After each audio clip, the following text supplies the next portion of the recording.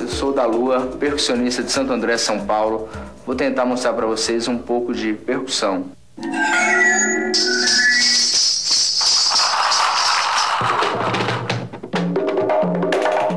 Percussão é tudo que se você percute, que você toca, que você tira o som ah, com isso. E por isso que eu digo que a percussão é a vida, porque o primeiro tambor, a primeira percussão é o coração. Todo mundo já nasce com tambor, todo mundo já nasce.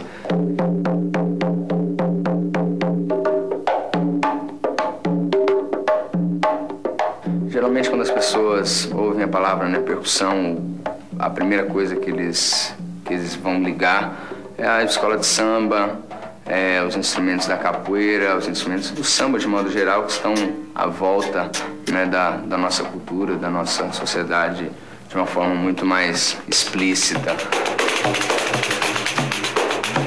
Mas não é apenas isso, né? As pessoas acham às vezes uma maluquice, um som de plástico, uma máquina de escrever, uma faca, um prato.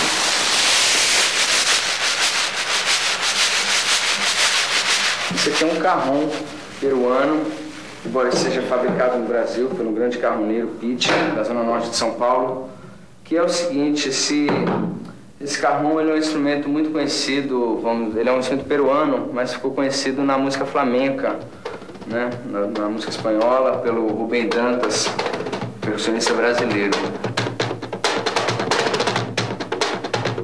Ele parece o quê? Parece que tem uma caixa. Ele é um caixotão de madeira com uma madeira mais fina e mais flexível ele na tem, frente. Um, ele tem um buraco. Tem aqui que é, vamos dizer assim, onde você capta os sons dele ali. Ele é um caixotão, muito bem armado. Quando a pessoa vê um caixote desse, ela imagina que vai sair esse som. Não, não imagina, até porque às vezes as pessoas acham que é apenas um banco, que além de ele é confortável. Pra você, você toca sentado em cima dele, né? Isso aqui é chamado de aquadrum. Aquadrum, né? Tambor de, de água, que aqui dentro é uma lata, como se fosse uma lata chatinha, né? Com água dentro. O som sai aqui pelo cano e por essas hastes aqui, tocadas né, com arco de violino.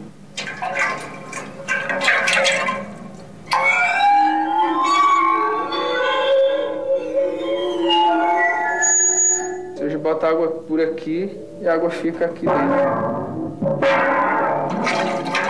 Aqui a água.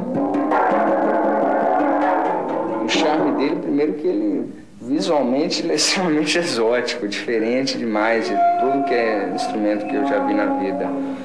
E o som dele é maravilhoso, porque Exótico também. ele é exótico, o som é muito exótico e é um engraçado que é uma coisa até óbvia, porque para quem assiste e gosta de filme, de terror, não que eu goste, mas já vi alguns, é um som que eu desde criança eu ouvia.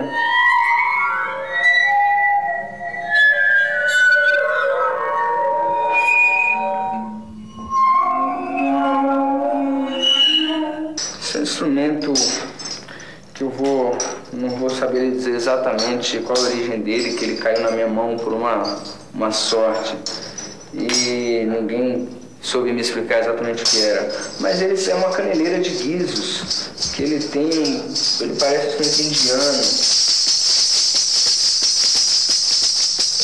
Em muita das culturas indígenas, né?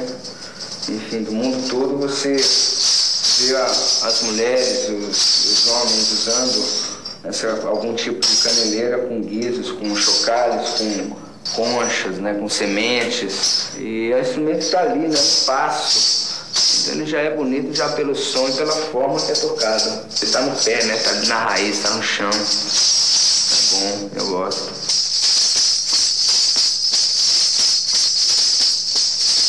Até estojinho de, de filme fotográfico.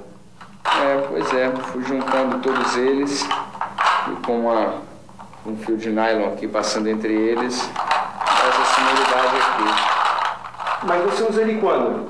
Quando eu quero ah, reproduzir alguma coisa semelhante à água de rio.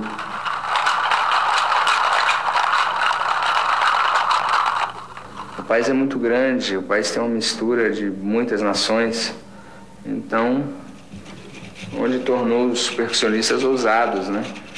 todos eles, eu acho que o percussionista brasileiro é muito ousado, muito atirado, né? Ele se atira mesmo nas coisas e quer fuçar de tudo.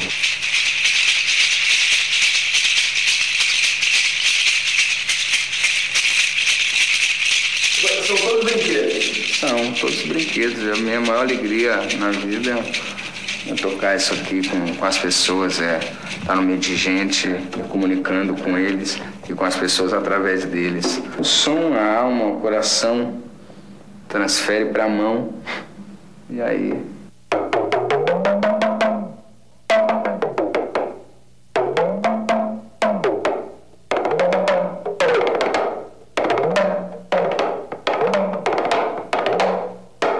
O silêncio tem som? O silêncio tem paz. Com o silêncio você cria muitos sons. Então tem o seu som sim. Eu pelo menos tenho o meu.